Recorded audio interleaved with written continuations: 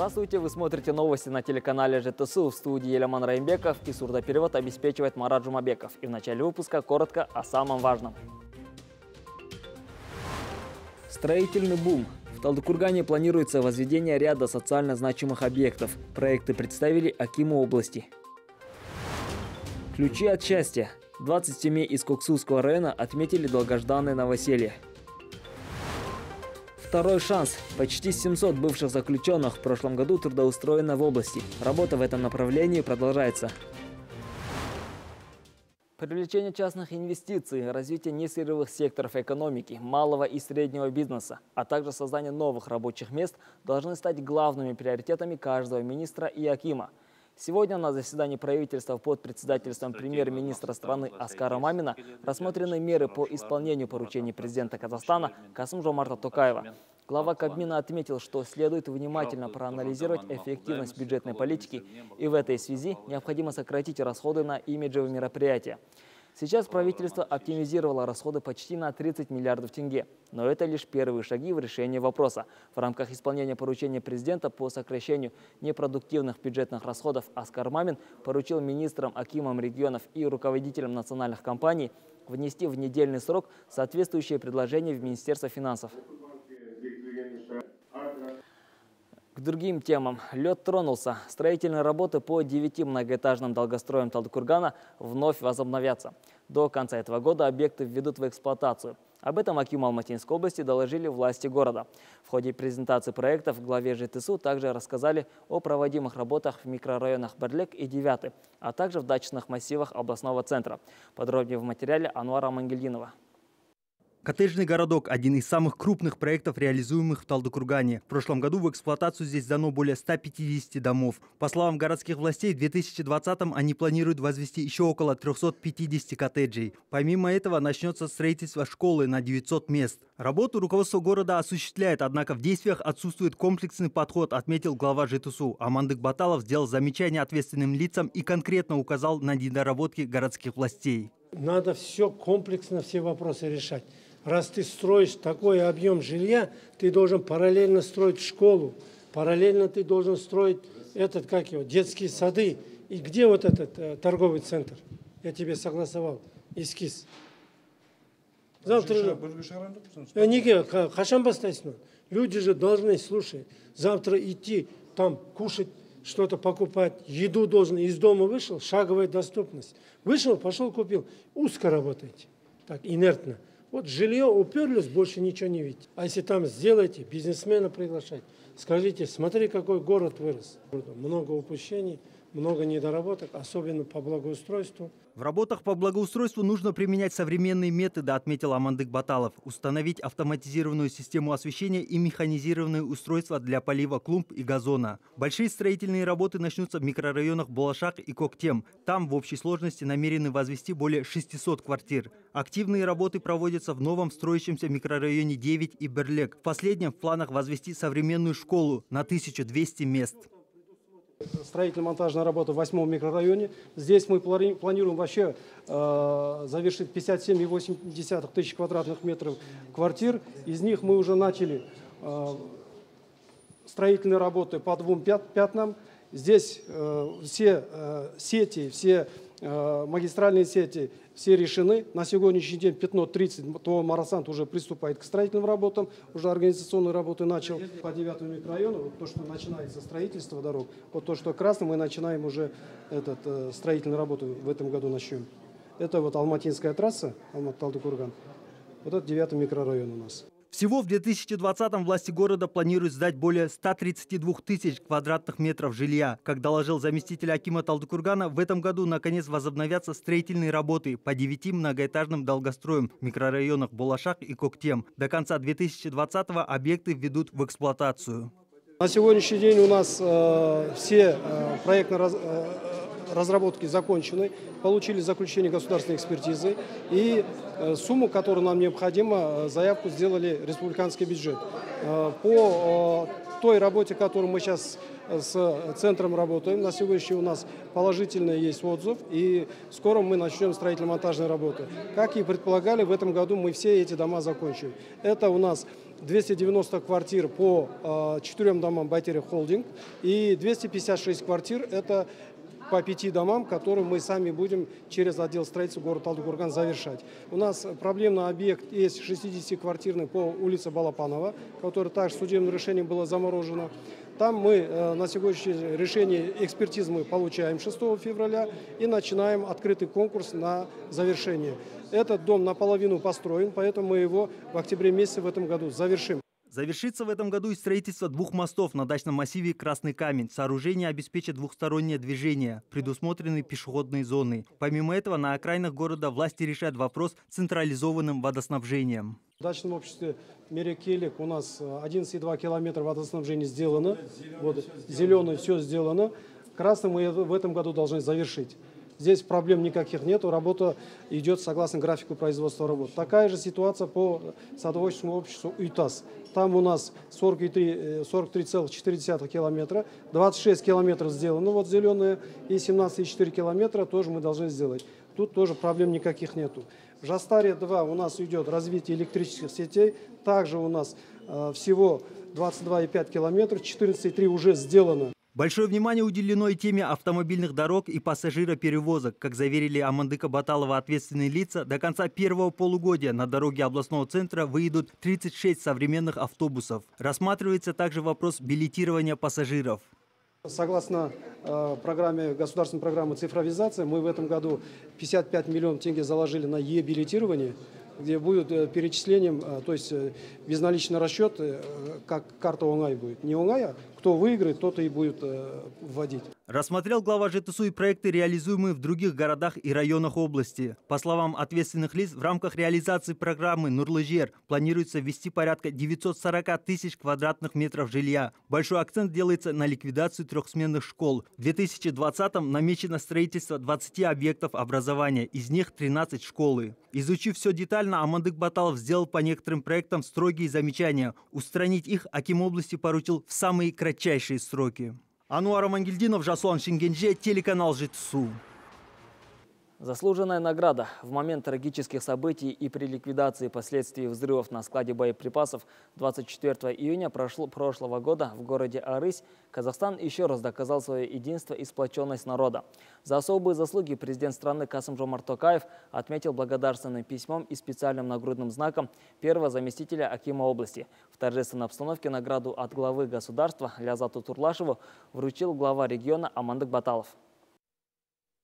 Сохранив единство и крепость духа, казахстанцы пережили трагедию для всей страны. 24 июня войдет в историю Казахстана день, когда на долю нашего народа выпало серьезное испытание, которое мы с честью выдержали. Вся республика приняла участие в восстановлении города Арысь. Немалая работа выполнена и руководством Алматинской области. Первый заместитель главы региона более двух месяцев находился на месте события и контролировал ход строительных работ 15 участка отведенного для нашего региона. Мы очень активное участие приняли по ликвидации последствий, которые случились в Арысе.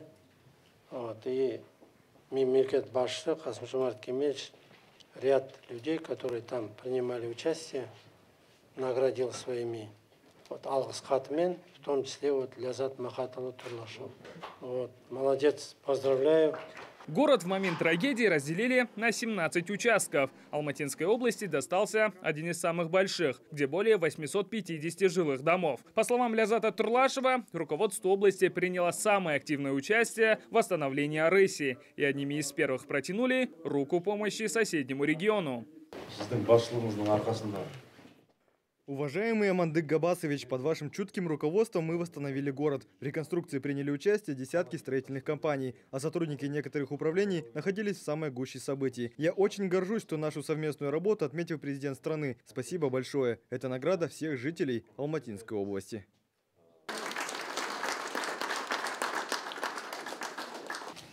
Когда самое это приятное.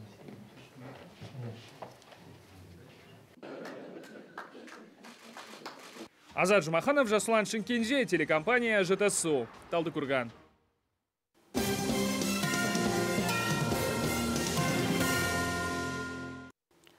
Почти 700 бывших заключенных трудоустроено в Алматинской области в 2019 году. 528 на постоянной основе, 79 на общественных работах, еще 69 отправлены на переобучение.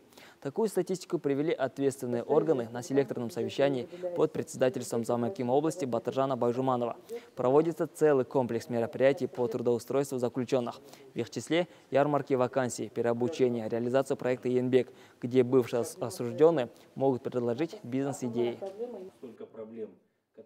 НПП организуем работу, а, чтобы они тоже подключились, как мы сейчас предлагали, да?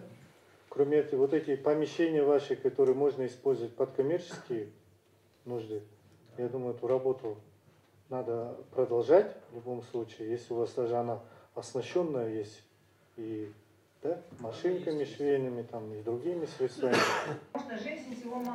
Кроме того, на заседании говорили и о медицинской помощи спецконтингенту в тюрьмах. На сегодняшний день в учреждении ДУИС области содержится 120 осужденных с ВИЧ-инфекцией. Сейчас они проходят полный курс лечения.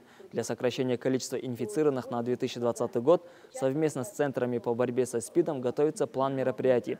По предложению заместителя Акима области также необходимо закупить передвижные флюроавтомобили. Особого внимания требует вопрос привлечения медперсонала. По словам ответственных лиц, из-за низкой заработной платы врачи не горят желанием работать в колониях. В связи с этим Батыржан Байжуманов поручил синхронизировать работу органов ДУИС и управления здравоохранения. В рамках пилотного проекта Продолжаем выпуск. Жителям Жамбылского района больше не придется ездить в южную столицу для получения услуг врача-нефролога. В селе Узунагаш распахнул свои двери новый медицинский центр гемодиализа компании DN Medicus Farm. На торжественном открытии учреждения побывала и наша съемочная группа последние годы в Жамбылском районе наблюдается все больше граждан, нуждающихся в помощи врачей-нефрологов. Жители, страдающие хронической почечной недостаточностью, до сегодняшнего дня ездили за услугами специалистов в город Алматы. Узнав о проблеме сельчан, предприниматель Арайлым Еркимбаева решила протянуть руку помощи своим землякам. Бизнес-вумен открыла на родной земле новый медицинский центр, оснащенный современным оборудованием из Германии. Данный центр э, было инвестировано более 200 миллионов тенге. Э, мы, как граждане э, Республики Казахстан, есть такое понятие социальная ответственность бизнеса перед обществом. Мы это четко понимаем. Мы одновременно в день можем принимать 30 пациентов. То есть э, на существующих 60 пациентов э, у нас коечная мощность хватает. Самое главное, пациенты получают все услуги абсолютно бесплатно. Для удобства больных на первом этаже здания установлены 10 функциональных кроватей. Иными словами, в центре созданы все условия для комфортного и качественного получения процедур. Наш центр буквально полностью весь спектр услуг оказывает а наша развозка, да, э, машина, специализированная машина, забирает пациентов э, из дома, вот, привозит в наш центр. После проведения сеанса гемодиализа в неделю они получают три раза по 4 часа. Все расходные материалы, то есть у нас тоже оригинальные, непосредственно компании Вибра. Стоит отметить, аналогичные центры компании DN Medicus Farm активно функционируют на территории Карасайского, Панфиловского, Уйгурского районов и города Алматы. Азад Жумаханов, Жаслан Шинкинджи, телекомпания ЖТСО из Жамбылского района. 20 семей из Коксусского района стали обладателями заветных ключей от собственных квартир. В их числе люди с особыми потребностями. Пенсионеры, обладатели награды Алтыналка и дети-сироты. Возможность предоставить новоселам жилье у местных властей появилась благодаря жилищной программе «Нурлажер». Подробности в материале. В Балпыхпи собственное жилье появилось у семьи Гульнар Хасеновой, матери героини, воспитывающей шестерых детей. До сегодняшнего дня многодетная семья скиталась по съемным квартирам. В списке очередников женщина числилась с 2014 года. И вот, наконец, им посчастливилось приобрести крышу над головой. Пусть двухкомнатная, но главное своя, не скрывает своей радости Гульнар.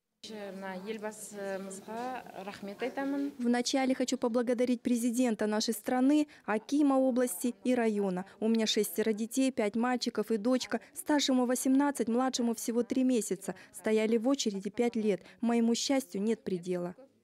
В целом, ключи от заветной крыши над головой получили 20 новоселов. Среди них семьи с детьми с особыми потребностями, матери-одиночки, обладатели награды «Алтын-Алка», пенсионеры и дети-сироты. Как отмечают местные власти, кров в этот раз предоставлен только социально уязвимым слоям населения, стоявшим на учете в отделе ЖКХ. На приобретение жилья с государственного бюджета было выделено свыше 160 миллионов тенге. В текущем году, по словам чиновников, жилье получат еще порядка 80 нуждающихся.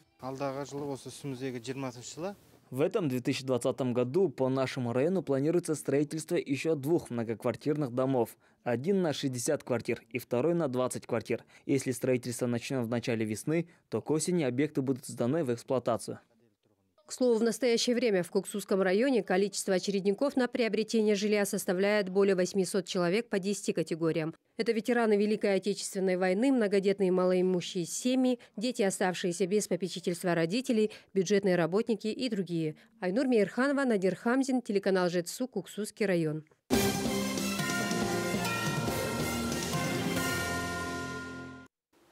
Сегодня шесть человек, прибывших из Китая, госпитализировали в Казахстане. Об этом сообщил главный санитарный врач Казахстана Жандарбек Бекжин. На утро было госпитализировано четверо больных. Из них двое уже отпущены после оказания амбулаторной помощи. Также поступила информация о госпитализации одного человека в Алматы. В Акмолинской области госпитализирована семья из пяти человек. Они тоже побывали в Китае. У всех признаки острых респираторных вирусов. У двоих детей отмечается высокая температура. У взрослых членов семьи особых признаков нет, но поскольку они все были в контакте, их госпитализировали, сообщил Бекшин. Также министр здравоохранения Ильжан Бертанов рассказал, что у госпитализированных взяты все необходимые анализы крови. В течение трех суток будет проводиться детальная диагностика. Начата соответствующая терапия, пояснил глава Минздрава. Оказание первой доврачебной помощи, пользование огнетушителем, безопасность на льду. Мастер-класс для юных кадетов провели спасатели Илийского района. Ребята узнали, как вести себя в чрезвычайных ситуациях, ознакомились со спецтехникой и прочитали лекцию о пожарной безопасности. Напомним, кадетский класс был создан в 2019 году. Сейчас там обучаются 27 ребят. Кадетский класс был создан в 2019 году на базе средней школы номер 7 райцентра. Сейчас там обучаются 27 ребят. Очередной мастер-класс спасателей посвящен пожарной безопасности. Через увлекательные викторины дети узнали, как вести себя во время ЧС. Впрочем, за полгода создания отряда юных спасателей дети научились многому. Когда первый раз шагаешь, это очень сложно, потому что надо делать равновесие, но, но там 90 градусов надо поднимать. И надо знать, что первое, когда делаешь, когда говорят один, надо э, из левой ноги надо начинать. Когда первый раз автомат разбираешь, у тебя сердце бьется, как не знаю, как будто адреналин какой-то. А когда уже разбираешь или в третий, второй раз это делаешь, мне уже не страшно, это делаешь просто и быстро. Инструктор ДЧС Алматинской области показал кадетам, как оказывать первую доврачебную помощь. К примеру, задохнувшемуся в дыму делается искусственное дыхание или непрямой массаж сердца. Опробовать полученные навыки ребята смогли на манекене. В 7.45 начинается с построения.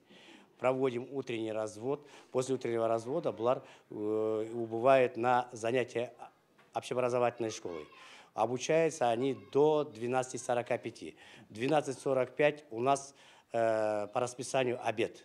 После обеда у нас в час 30 общее построение, обеденный развод. развод. После обеденного развода мы убываем на военные занятия. Э, военные занятия в соответствии расписания, э, именно составленные по программе кадетских классов. Туда у нас входят разделы огневой подготовки, строевой подготовки, тактической подготовки, э, уставы вооруженных сил. Каждую пятницу э, нашими сотрудниками отдела ПЧС Илийского района уделяется два часа времени совместно с департаментом ПЧС Алматинской области. С детьми проводим занятия о мерах пожарной безопасности, безопасности э, в зимний период на льду, кроме этого, о технике безопасности – Э, учим детей патриотизму, любовь к органам гражданской защиты. Периодически э, проводим дни открытых дверей, приглашаем э, наших молодых спасателей, юных спасателей Мастер-класс поможет быстрее усвоить материал. Юные пожарные не растеряются в экстремальной ситуации и смогут оказать помощь окружающим и себе, уверены брандмейстеры. Подобные мероприятия будут проводиться на постоянной основе. Дамир Анитов, Абзал Нусипов, телеканал «Жицу».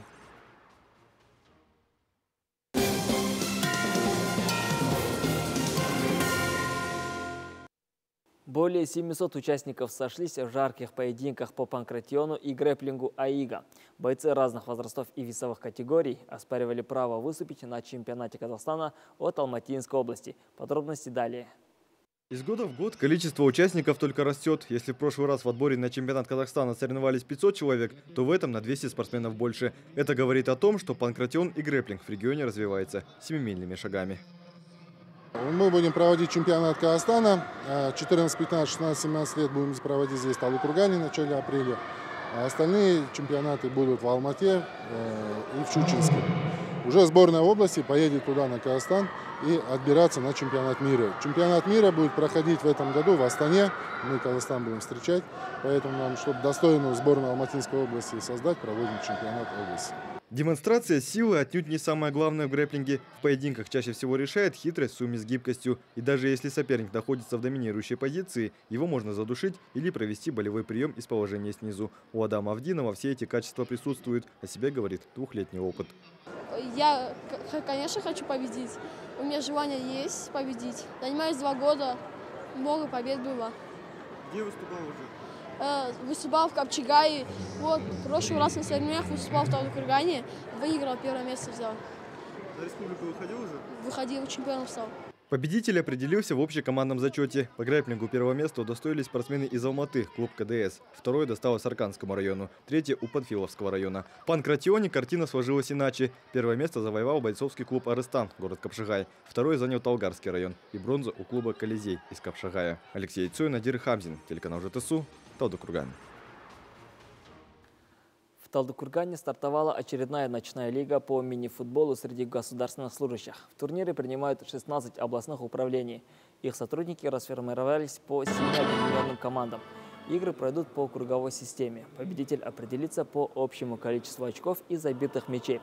Победивший коллектив сыграет в Суперлиге против финалистов прошлого чемпионата.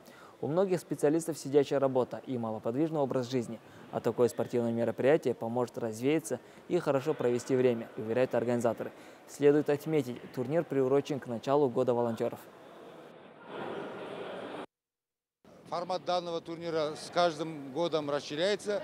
В этом году изъявили желание принять участие госслужащие э, Коксуйского района и областной прокуратуры. Всего принимает участие свыше 80 государственных служащих. Цель данного турнира, во-первых, это посвящено году волонтеров, как э, логическим э, продолжением года молодежи. Э, а основной целью является популяризация футбола. Такими событиями был насыщен уходящий день. Спасибо за внимание. До свидания.